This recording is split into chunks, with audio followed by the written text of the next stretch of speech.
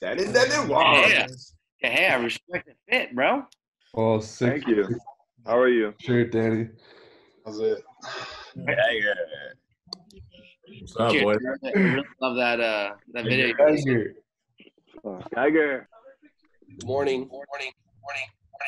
Uh, so I think one of the things we want to do, and I'll explain a little bit about a little more about what we're doing, but I think we should start the day uh, by everybody going around and saying good morning, because uh, you know one of the things that I think we're going to enjoy in this is seeing each other, like actually seeing everybody's face. So, uh, Josh, if you want to just kind of toggle through uh, each person, and everybody can just say a quick good morning. Of course, say good morning. Morning, guys. Hey, thanks. Morning, Shuey. Hey, Shuey. Morning, Shuey. Morning, guys. Morning, Matt. Morning, guys. Morning. Morning, Danny. Morning, boys.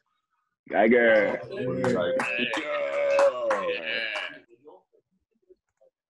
Morning, guys. Miss you guys.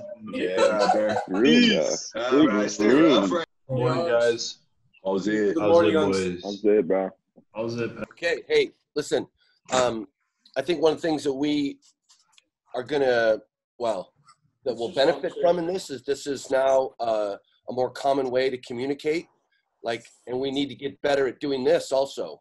Um, everything from, well, one thing that I've learned, and you know, looking at the whole kind of distance learning, in that you will do a better job uh, if you get up and prepare for this session get up, take a shower, put some clothes on.